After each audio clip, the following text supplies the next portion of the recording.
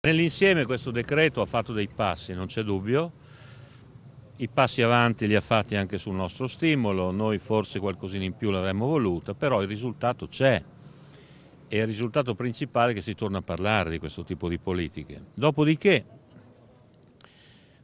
diciamo così, nella mole di emendamenti, discussioni notturne, con evidenza c'è stato un passaggio, diciamo c'è stato un incidente.